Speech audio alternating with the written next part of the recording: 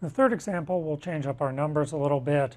Our processor will use slightly less voltage, and the numbers for capacitive load in megahertz are not going to be quite the same anymore.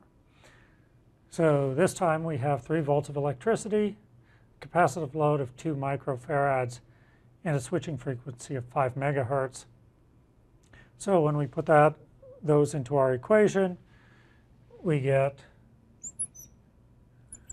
2 microfarads times 3 volts squared times 5 megahertz. Again, convert the microfarads and megahertz into farads and hertz.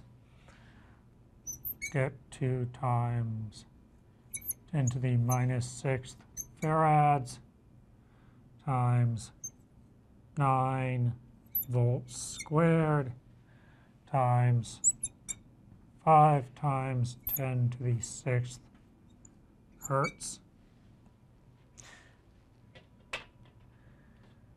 As before, our 10 to the minus 6th will cancel with our 10 to the 6th, and we will get 2 times 9 is 18 times 5 equals 90 watts of power.